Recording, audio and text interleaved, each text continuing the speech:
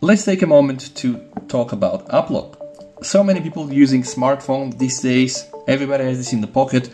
Having an app lock will be quite essential. So imagine use case scenarios, you are handing over your phone to a colleague, you want this colleague not to sneak peek and be able to just open your gallery and then maybe check whatever you're doing. You know you know what you're doing. Or you have kids. You don't want them to access tiktok for example. Like short form content and little kids is not a good combination so one might expect that the app lock is an integral feature of almost every phone at least android phones but this is not the case with samsung phones and with pixel phones hold your horses. I know i know there are things like the samsung secure folder you can apparently use to set up some things that are quite like AppLock, but it will actually clone the application that you want to lock into another version and of course then use also Knox to encrypt it which is just beautiful and perfect but do you want to do this with your gallery? Do you want to do this with telegram or facebook?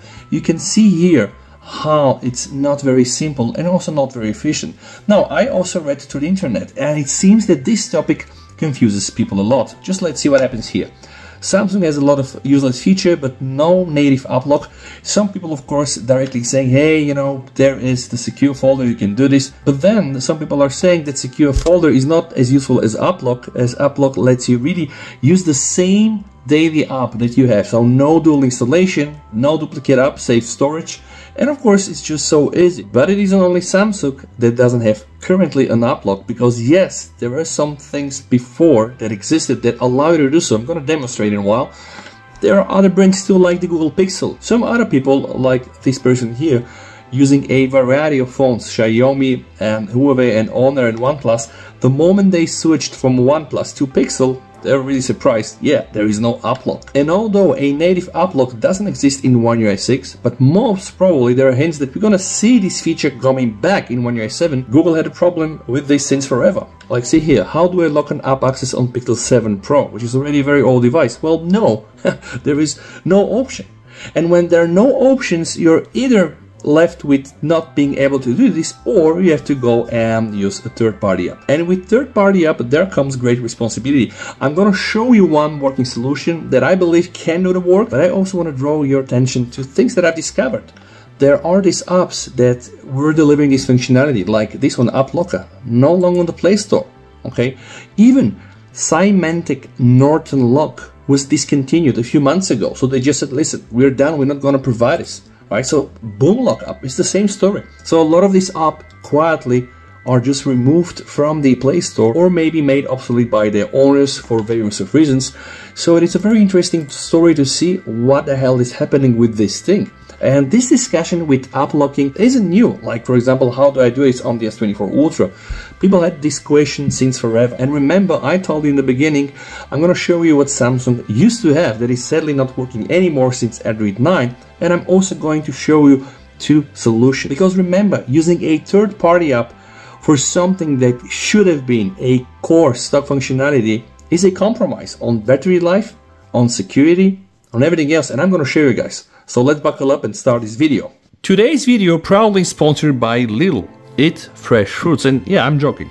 I bought this myself. Okay guys, so I promised to give you the whole story. Two, three years ago, S Secure, alright. The latest version I think from around some years ago, this was for sure a Samsung stock default app that will allow you to lock and mask apps because remember locking up is one thing and masking apps is changing your calendar icon to let's say a Spotify icon or changing uh, another app icon to maybe the weather. This thing sadly doesn't work so for some reason Samsung decided to depreciate it so it's no longer working and it's a sad story. So this thing is pretty much useful I'm just gonna uninstall it and of course I have a protection but guys for a moment think about something if we don't have a way to lock an application, you know, via stock settings, right? What would be the other solution provided it's stock? Well, it's not a best solution, but yeah, you can still do something called pinup, right? And an application pinned on one UI means, yep, you can give your annoying colleague your phone and just make sure that he's gonna watch the gallery. But, you know, he's not gonna be able to just go outside. He's not gonna be able to make anything, like even not access your quick setting. And pinning an app is actually quite useful because you can just go hit here, pin this up, give it to your kid, and that's it, guys. You know, your kid is not going to be able to access your gallery. Nothing else will be accessible on your phone. The only way to unpin it is just swipe to go outside of it, and then of course just unpin it. Where is this found? Go inside settings, under security and privacy there is something called Pin app and by default it's not turned on you have to turn it on and also make sure ask for pin before unpinning else just a swipe will unpin your application. But again this is just a workaround. So what about third party app locker apps. And as I said in the beginning, every time you use something like a third party app for something that might have been a stock functionality will of course be a compromise. Now, there is this app that I've tested, it's called AppLock.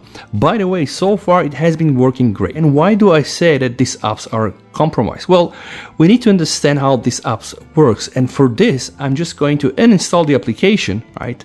And I'm going to install it together with you so that you see what I mean. This is the application that I've tested. I'm just going to install it. I just want you to see you know how it's been set up and this will make a point on how and why it's a compromise. So welcome to AppLock very nice interface. Set unlock button. so let's use this one here all right? And right now i'm in the interface and i can select which of the apps i want to have locked. So let's say i'm going to lock the gallery. So i press lock and this is the first compromise as we need to grant certain permissions for the app to be able to operate. The first thing isn't that critical. We need to display over other apps but then we do have also usage access, allow app lock to detect if a locked app is launched. So let me just grant the first one. Here we are, all right. And then guys, I need to also grant usage access. Okay, so again, this is the second permission that we are giving in. The app has a very nice interface. It will guide you on what you have to do. And then guys, there is another permission, protected apps. Protect your apps in the background. So when you click this one, stop optimizing the battery usage, which means that the app lock is going to be able to run in the background and its battery usage won't be restricted, which is of course normal if you want to use the services of this app. But then of course, it's going to also consume your battery. And of course, it also wants to have access to your notification I'm to demonstrate right now. I'm to try to open the gallery and the lock will start and I have to put here my pattern. Now, first thing on your mind, yeah, pattern, lame. You can go inside the settings and you can change this to fingerprint unlock, which is good. Because right now I'm to close everything. I'm to start the gallery. Boom and now finger lock. Now guys, this solution isn't perfect. Let me tell you why. Let me close everything so I'm gonna start the gallery.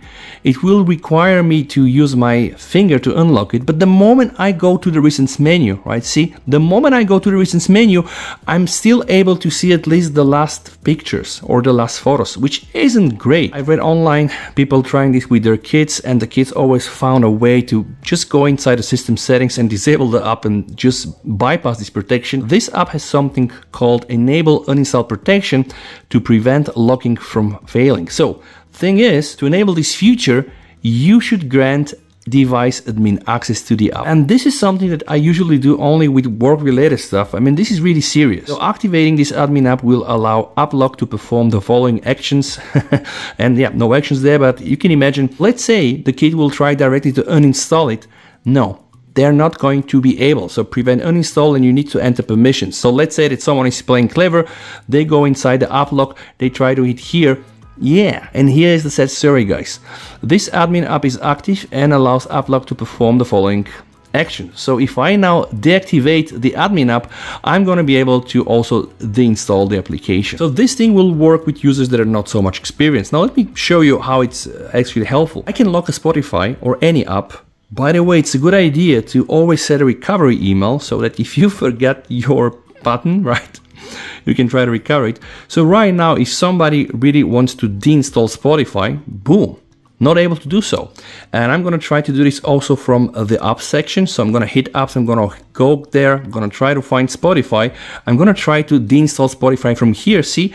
So at least you have some basic protection. But here is the thing with the third party app lockers, right? So first, a power user can easily deactivate them. Second, even if you're not a power user, right, still they're not going to be perfect. Like this case, when I go in my recent menu, I can at least access some of the content. Third, they're going to consume your battery. Fourth, you'll have to give them a lot of permission. And by a lot, I mean really a lot. So this is why, according to me, the best solution is to have such core functionalities integrated into stock.